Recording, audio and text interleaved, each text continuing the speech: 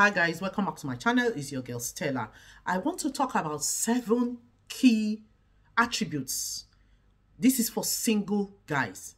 Seven key attributes you should have before you even start dating or choosing a woman to marry. Number one, top on the list is your relationship with God as a single guy. If you don't know your God, you don't have a relationship with Jesus, He doesn't guide you, you don't read your Bible, you don't spend enough time to pray, even though you're a Christian, you just go to church, you know, go to church, go to fellowship, it's not good enough. You need the word of God in you so that you can build your marriage to come on a sol solid foundation of Christ. Number two, are not a hundred percent whole. You cannot give that to the wife you're going to marry. Your relationship might become toxic. Number three, you need as a man, if you are still depending on your mother to cook clean for you, to, to take care of your mess. You come from work, you throw your things around, your socks is in the living room, you eat, and your mother has to pick away, or, or your colleague, or whoever you're living with. If you're still living at home, or you're living with friends, and you don't do anything, your house is a mess, it's not good enough, you're not ready for marriage. You need to take pride in cleaning your environment. Start with your bedroom, your bed. Make your bed when you wake up in the morning. Take care of yourself.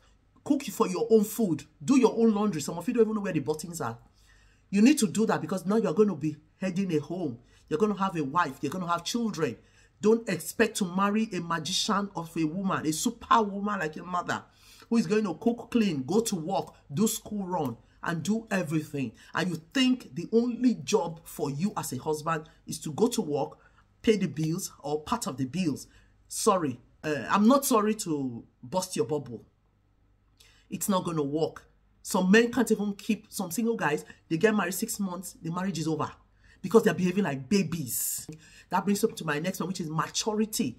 You have to be a matured individual to get married. If you're still a baby in your mind, it's not, it's, it's regardless of age.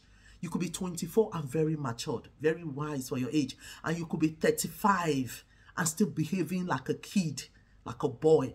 Which are you? Not all, I tell the girls, I say not all men, not all single guys are husbands.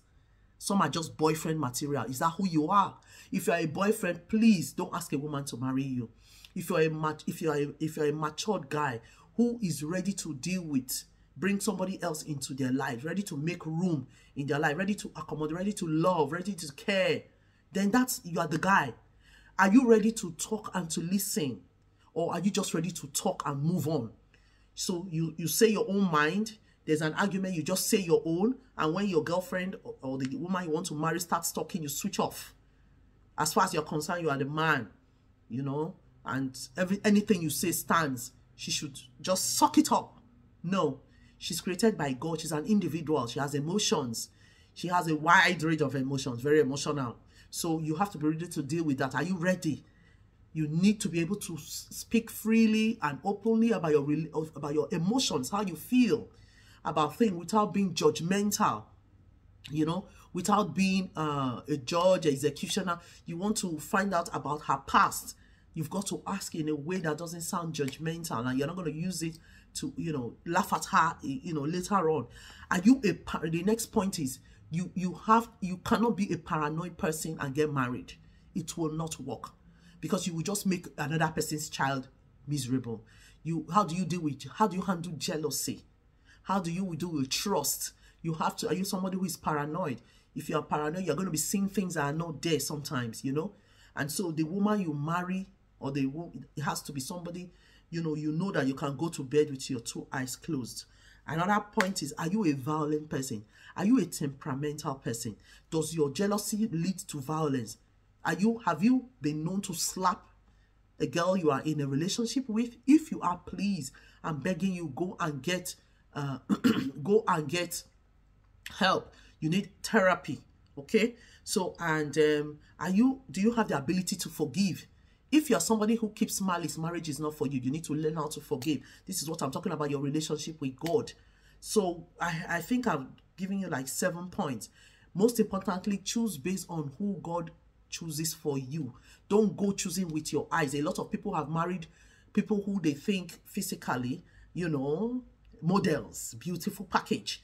They didn't even get to know the girl. They get into the marriage. She's devoid. She's empty inside, devoid of emotional intelligence, devoid of compassion, devoid of even taking care. She doesn't know how to take care of the house. Nothing works. All you have is the good sex life. And then your marriage disappears or you are miserable and you spend more time at work. It's a lifetime commitment. You make a covenant with God and with the wife. So I pray that with these points, you work on yourself as an individual, as a man, before you decide, you know what, I need to marry. So I pray God will give you a blessed, happy, wonderful marriage in Jesus' name. May you make a woman and uh, your, your family to come a blessed one in Jesus' name. Until next time, like, share, subscribe, find my books online, follow me on Stella TV on TikTok, and on, you know, subscribe if you haven't, and and also on Instagram. Take care. God bless.